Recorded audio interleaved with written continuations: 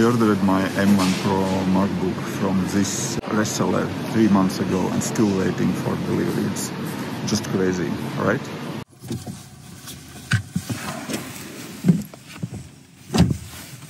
So the problem with deliveries is not only for that specific reseller, that is for all the resellers in the region and yeah, in Latvia, in Lithuania, Estonia. Also I heard from guys in Finland, Sweden that they have to wait for long weeks for delivery. So what's going on with those chips? Global supply chain, it's overloaded because pandemic increased the demand on chips because everyone working from home, we need all those computers and all that stuff, but in the same time production volumes decreased. Add on top of that the problem with supply chain. Shipping ports were shut down early when pandemic started. Also there is problem with workers in supply chain and here we have perfect storm. So I didn't order anything very specific. I ordered just base model, 16-inch MacBook Pro with 16 gigabytes of RAM, and that time for delivery is just ridiculous. I even developed an application to track how many days we already have since order date. I ordered it at October 20, that is first day when they was available for ordering here in Latvia, so more than 80 days already in in shipping. That's crazy in few resellers we already have available 14 inch MacBooks and I am planning to go and take a look how big difference there is between 14 and 16 inch MacBook Pro. So let's do that.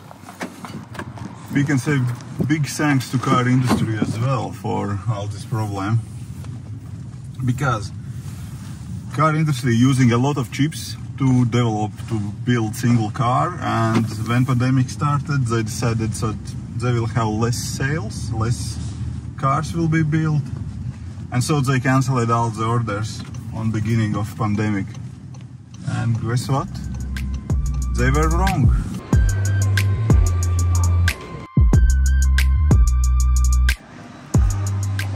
14 inch and 16 inch. 16 inch models are not available currently. 14 inch is available but it is so much smaller. Frankly I don't know what to do with that.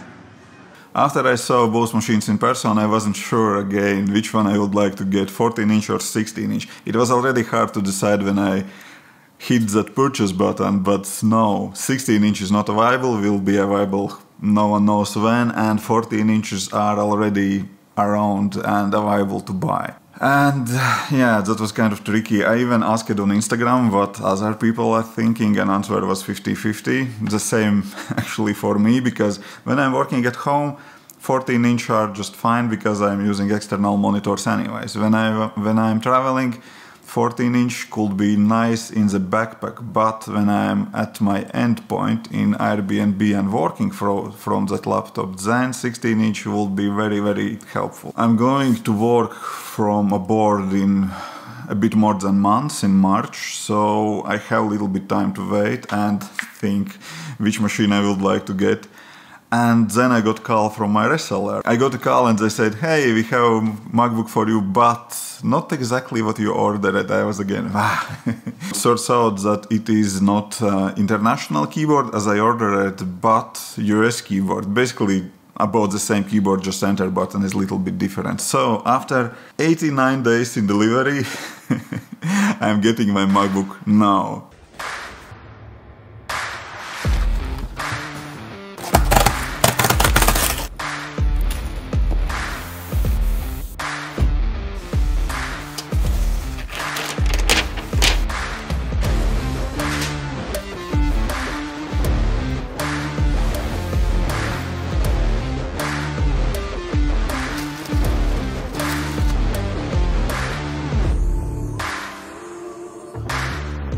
The screen looks awesome. I'm really happy that I decided to wait for that.